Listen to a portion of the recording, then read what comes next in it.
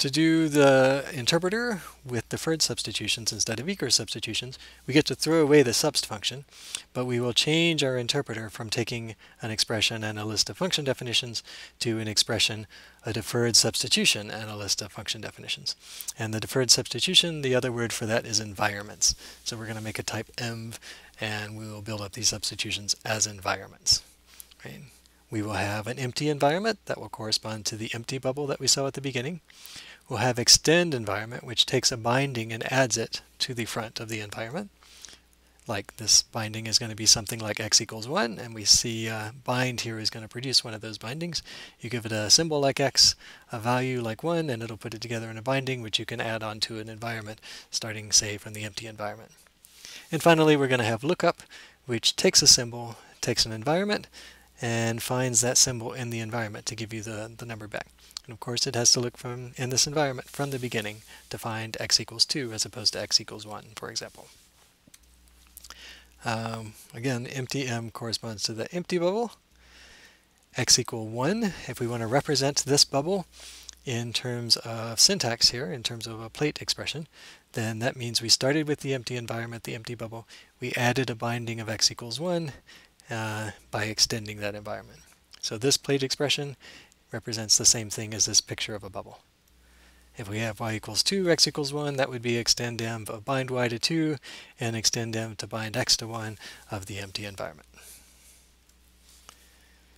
Concretely, this is how we're going to implement those types. So a binding uh, is a new type that has one variant bind that binds a name to a value, where a name is a symbol and a value is a number.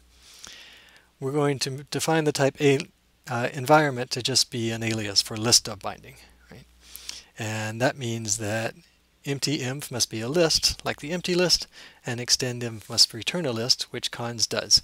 So extend env takes one binding and an environment, it gives us a new binding. That is, it takes a list, or it takes a binding and a list and gives us back a new list. That's exactly what cons does. But we're going to use the names empty env and extend env to be more clear uh, as we write our interpreter and read our code. And that just leaves the lookup function. The job of the lookup function is to act like interp when it hits an identifier represented by some symbol uh, and perform some substitutions that were deferred uh, as recorded in the environment. So for example, if we look up x in the empty environment, that means we had the original expression x with no substitutions, so that would be a free variable error. On the other hand, if we reach an x in a context where we meant to substitute 1 for x, then that means the lookup function should return 1. Right? That's in an extended environment that binds x to 1 starting from the empty environment. And as one last example, if we're looking up x and we have uh, an extended environment with y bound to 1 and then x bound to 2, then of course we should return the 2. So lookup takes a symbol and an environment, and to implement lookup we have to remember that an environment is actually a list of binding. So that drives the template. We're going to have a type case on a list of binding for that environment. So we have either empty or cons, where cons uh, was created by extendenv.